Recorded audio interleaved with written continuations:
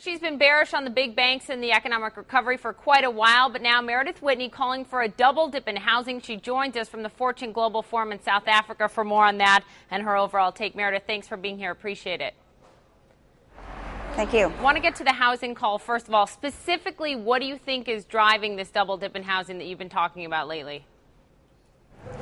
Well, for the first quarter uh, in a year, you're starting to see, and you've started to see, banks release inventory onto the marketplace. So they're selling homes, which they had been for the last year holding and uh, you know try to rework, modify, um, and they're forcing um, those homes into foreclosure, into short sales, and so you see a supply displacement uh, in the market, and that is what's causing home prices to decline. So the activity that's gone on for the past year within the housing market has gone on largely through the first-time uh, tax buyers credits. So in fact, 45% of the market was comprised by uh, first-time home buyers. Um, what's happening now? is you're starting to see some of the prime market, uh, prime real estate come back onto the market. Um, these are typically larger value, um, larger size value mortgages, larger size uh, value homes. Once you see that market move, you'll see real declines in home prices. You've talked about this expectation of a recovery, but the fundamentals just not being there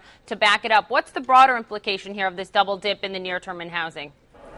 Well, the broader uh, implication is, and so when I say you know 10%, I mean over the next you know six odd uh, months, uh, you'll see a dramatic decline in home prices. Um, but the broader implication is that the investors who thought that uh, the banks were close to normalized earnings, um, would, the investors that thought that the banks would free up capital because of these huge reserve releases, I think are going to be significantly disappointed. What you also see is um, the mortgage market entering in its ninth consecutive quarter of shrinkage. So lending across the board, consumer lending, is shrinking as an industry. Um, that creates problems in terms of uh, just general mobility for consumers, um, free cash flow for cons- consumers and certainly um, uh, banks' earnings.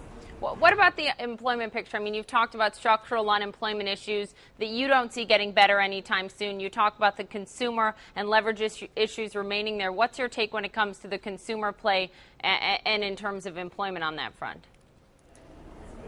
Well, from a consumer perspective, um, consumer credit is getting tighter, not looser. So small businesses fund themselves just like consumers with credit card lending, with home equity lending, uh, borrowing, um, and uh, uh, as that market tightens, it's very difficult for small businesses, which has been responsible for over 60% of job creation in this country over the past 15 years, to actually hire. So then that leaves you with the large cap corporates, which also are not hiring, and the government, um, and this is important, state state and local governments are starting to really cut jobs. And at this time in the economy, when you're coming out of a recession, this is typically when the government spends a lot of money to hire people um, and create a tailwind. Uh, you know, a tailwind. Now this is creating a headwind for the employment picture. So I think uh, the second half of the year is going to be um, uh, harrowing for for job creation in this country. And what about in, in certain states specifically? You've talked a lot about your concerns about the municipal market, calling it very scary, looking at state budget deficits that are just massive. You say worse than,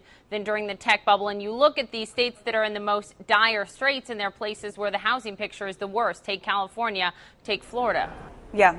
Um, the problem that this creates is um, Florida, California have really led the economy, the U.S. economy, for the past 10 years. Um, and since the housing market um, started to um, uh, experience so much disruption, started to decline, these are states that dramatically underperformed. So these are the states that are the most underfunded. So what happens is they cut programs, they raise taxes, and or both, and it squeezes the high end and the low end. So your uh, uh, your your state GDP is compromised. And then when it adds back up to the national GDP, um, it becomes a real drag on the economy. So it becomes almost like a the, like the procyclicality of bank reserves. You have to cut at all the wrong times. So you're cutting um, government spend um, just when uh, your your uh, uh, your residents need the most assistance, um, and so it creates a vicious, vicious spiral does the U.S. government have any ammunition left, Meredith, to deal with to deal with this problem? I mean, there's stimulus money left. At the same time, you've got